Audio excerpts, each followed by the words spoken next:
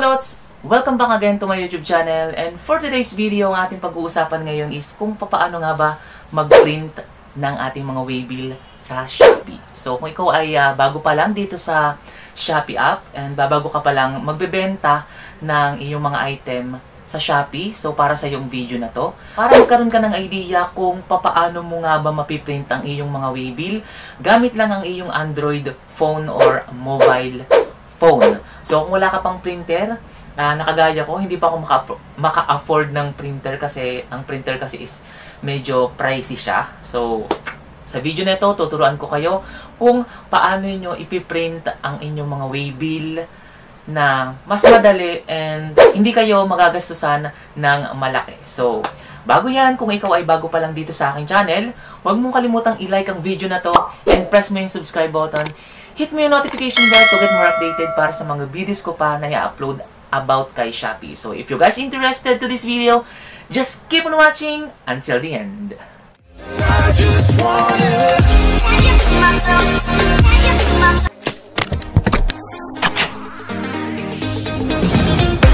Baby ko si kulot Pag-ibig mo'y pilit kong inaabot Sana ako na lang ang makasama nga ba tayo magpiprint ng ating mga waybill kung ikaw ay babago pa lang sa Shopee? So, syempre, ang question is, paano ko piprint ng waybill ko? Paano kaya yung gagawin ko? Kasi wala pa akong printer.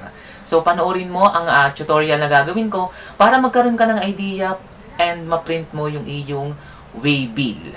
Dati kasi guys, ang uh, ah, JNT, so kung ano mo yung courier na uh, ginagamit mo, ako kasi ang ginagamit ko o ang mas malapit na courier dito sa aking lugar is ang JNT. Yung iba kasi is Shopee Express and uh, yung iba Ninja Van, yung iba ibang courier. So ako ang mas malapit kong courier dito is yung JNT. Dati kasi si Shopee and JNT, kapag nag-drop off ka ng iyong mga parcel sa JNT, sila na yung bahalang mag-print ng iyong waybill uh, idadrop off mo na lang, dadalhin mo na lang sa kanila yung iyong mga item o yung mga parcel mo, yung mga deliveries mo. Sila na yung bahalang mag-print ng waybill. Ngayon, nag-iba na yung uh, rules ni Shopee and ni JNT. Hindi ko alam kung si JNT or si Shopee yung nag-iba ng rules. Basta, ang ginawa nila is yung seller na ang obligado and yung seller na yung kailangan mag-provide ng waybill para sa kanilang mga deliveries. So sa video na ito guys is uh, gagamit tayo ng isang application.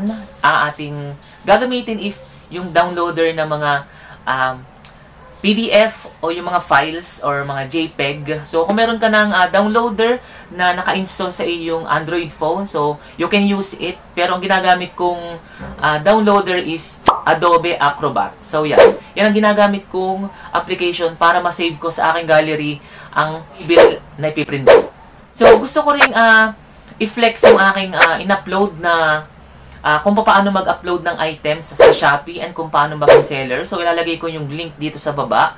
Pwede mo siyang uh, panoorin. And kung paano mag-arrange ng ating mga orders sa Shopee. So, kung ikaw ay bago pa lang sa Shopee, you can watch yung video na ginawa ko and lalagay ko siya sa link yan dito sa taas and dito sa baba kung interesado ka and kung hindi mo pa alam kung paano mag-upload ng items and kung paano mag-arrange ng ating mga orders. So, ito na yung tutorial na ginawa ko. Sana ipanoorin mo hanggang dulo para magkaroon ka ng idea and malaman mo, matutunan mo kung paano mo ipiprint ang iyong waybill sa mabilisang paraan.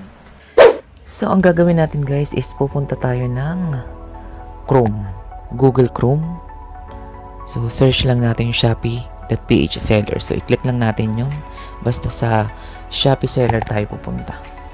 Okay? And then, Shopee Seller Center. So, i-click lang natin itong Shopee Seller Center. Okay? And then, hintayin lang natin na mag-loading. So, may lalabas siya na ganyan. So, nandito na tayo. May lalabas dito na advertisement. So, iintayin lang natin. X lang natin siya. Okay, X. Okay, dito tayo sa may gilid. Click lang natin yung My Orders. Ito. Yan, My Orders.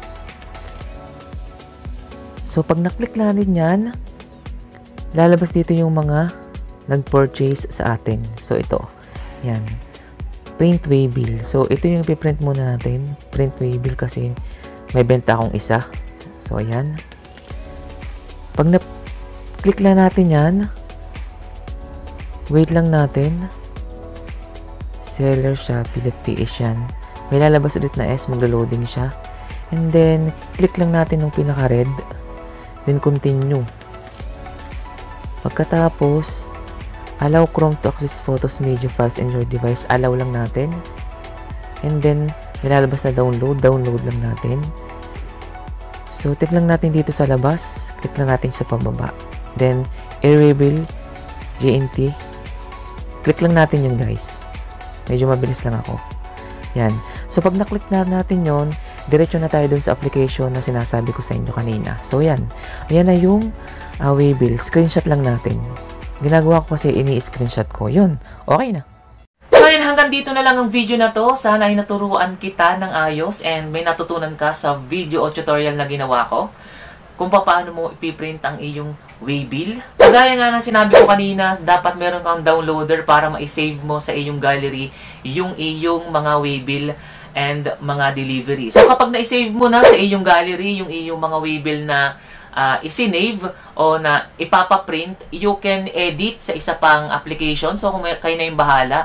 Basta, ang ginagawa ko kasi guys is sa isang short bond paper kasi kung meron kayong editor, pwede nyo pagsama-samahin yung anim na waybill. Kasi kung ipiprint nyo lang yung waybill sa isang uh, printan lang or sa isang bond paper, so medyo magastos. So ang gawin nyo is pagsama-samahin nyo sa isang uh, bond paper yung inyong waybill. Ang ginagawa ko, anim na pirasong waybill. So ang presyo lang yun, ang ibabayad nyo lang is 5 pesos to 10 pesos, depende sa inyo sa computer shop. So, kapag na-edit nyo na, kapag sama-sama nyo na yung inyong waybill sa isang bond paper, pwede nyo siyang ipaprint sa computer shop na malapit sa inyo. So, ganun lang kadali kung wala pa kayong printer na magagamit. Ngayon, hanggang dito na lang ang video na to. And again, kung nagustuhan mo ang video na to, huwag mong kalimutang mag-iwan ng like and press the subscribe button.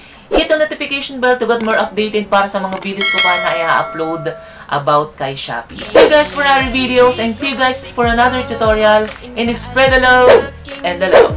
Thank you guys for watching and keep safe. God bless. Bye-bye.